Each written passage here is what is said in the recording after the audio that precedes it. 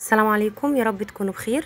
النهاردة الفيديو أكلات آه، ووصفات آه، سهلة وبسيطة آه، تنفع للعشاء أو للفطار وكمان ممكن تنفع للغدا آه، كلها اقتصادية وكلها من حاجات آه، كانت بايتة عندنا. يعني الأكل البايت آه، مش هنرميه هنعمل له إعادة تدوير وهيطلع منه أكل تحفة قوي.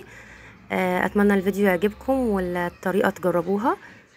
عندي هنا أكلتين. أول أكلة معايا كانت من البطاطس. آه، دي كده كانت بطاطس بايتة. آه، أو ممكن بطاطس فايضة يعني من الأولاد وكده. آه، ما ترميهمش ممكن تشيليهم في التلاجة أو الفريزر. آه، وهنعمل بيهم الأكلة دي. أنا خدت كده البطاطس حطيتها كده في صينية أو البايركس ده. بفردها كده بالشكل ده وممكن طبعا أي نوع بطاطس. آه، دي كانت بطاطس مقلية. آه، ممكن طبعا أي نوع بطاطس فايض عندك. جبت كده حوالي بيضتين أو ثلاثة قلبتهم كده كويس في شوية من الملح والفلفل الأسود. وبضيفهم كده للبطاطس. طبعا كمية البيض زي ما تحبي. أنا حطيت كده ثلاث بيضات على الكمية دي. وبعدين كده جبت شوية من الجبنة التركي أو الرومي. آه، دي برضو كانت بواقي. بشيلهم كده في الفريزر.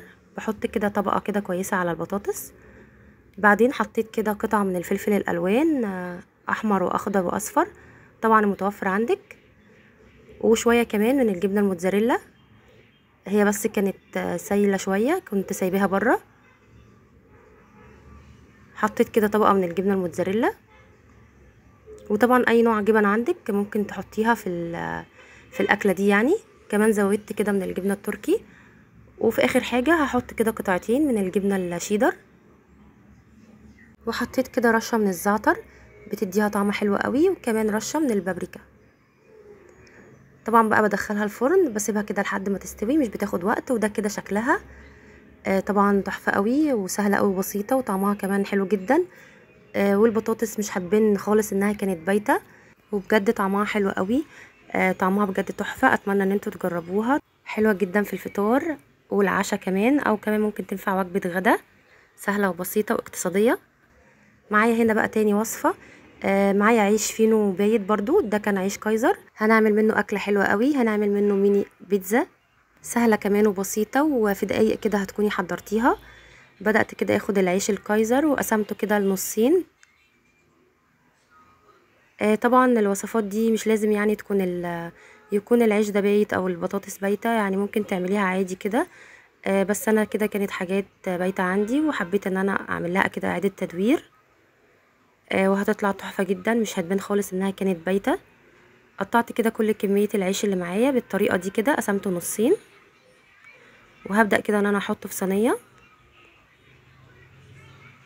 رصيته كده بالشكل ده. بعدين هجيب آه آه صلصة أو كاتشب. دي كده صلصة عادية. حطيت عليها شوية من الفلفل الأسود. آه طبعا ممكن برضو تحطي كاتشب بيبقى حلو قوي. بحط كده طبقة منه على على العيش معايا. وهخلص بقى كل الكمية كده بنفس الطريقة. الأكلة دي بجد دقايق كده وهتكوني حضرتيها. وكمان بتعجب الأطفال قوي. خلصت كده كل كمية العيش كده اللي معايا حطيت كده عليه صلصة. وطبعا بقى الحشوات أي حشوة عندك متوفرة. يعني أي حاجة كده تفضليها أو أي برضو حاجة بايتة عندك ممكن تحطيها كده عليها. أنا برضو كان عندي كده جبن دي برضو جبن فايضة وكانت بواقي برضو. حطيتها كده عليها. وطبعا ممكن أي حشوة عندك لو لحمة مفرومة فايضة برضو أو فراخ ممكن كده تحطيها برضو عليها بتبقى طعمها حلو قوي. حطيت كمان شوية من الفلفل الألوان.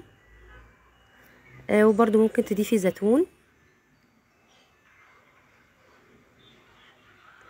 هحط كمان قطعة كده من اللانشون. وده برضو كان بواقي يعني كل الأكلة كانت من بواقي التلاجة. واخر حاجة كده بحط كده قطعة من الموتزاريلا. وكمان هضيف لها كده شيدر. هحط كده على كل كل سندوتش كده أو كل بيتزاية واحدة. وطبعا بدخلها الفرن. بدخلها بس تحت الشواية مش بتاخد وقت خالص. آه يدوب بس الجبنة تسيح معايا. وبتبقى في ثواني حضرتيها. رشيت كمان رشة كده من الزعتر ورشة من البابريكا. بدخلها طبعا الفرن وده كده شكلها. أول طبعا ما بتطلع من الفرن بتكون كريسبي شوية ومقرمشة. لو حباها تبقى طرية بتغطيها. ده كده شكلها بجد تحفة قوي. دي كده الأكلتين اللي عملناهم من بواقي الأكل أو من أكل فايض عندك. دي كده الميني بيتزا بالعيش الكايزر. بجد تحفة قوي وطعمها حلو قوي. وكمان الأكلتين ما أخدوش معانا وقت خالص. آه طبعا وجبة غدا سهلة وبسيطة أو عشاء طبعا. أو فطار يعني تنفع في أي حاجة. آه سهلة وبسيطة وكمان خفيفة جدا. آه وطعمها حلو قوي ويعجب الأولاد جدا. وده كده شكل الأكل معايا. أكل طبعا شكله حلو جدا وكمان طعمه أحلى. آه ومن حاجات كنا هنرميها أو حاجات آه يعني كانت بايتة عندنا فايضه عندنا نقدر إن إحنا نستغلها وما نرميش حاجة ونعمل لها كده زي إعادة تدوير. للأكل طبعا تحفة جدا وطعمه كمان حلو قوي. مش هيصدقوا إن هو كانت من حاجة بايتة. بجد تحفة. أتمنى إن أنتوا تجربوها. ويا ريت ما تنسونيش في ال like لو عجبكم الفيديو. وما تنسوش الاشتراك في القناة وتفعيل الجرس عشان يوصل لكم أي فيديو جديد بنزله. أسيبكم في رعاية الله. السلام عليكم.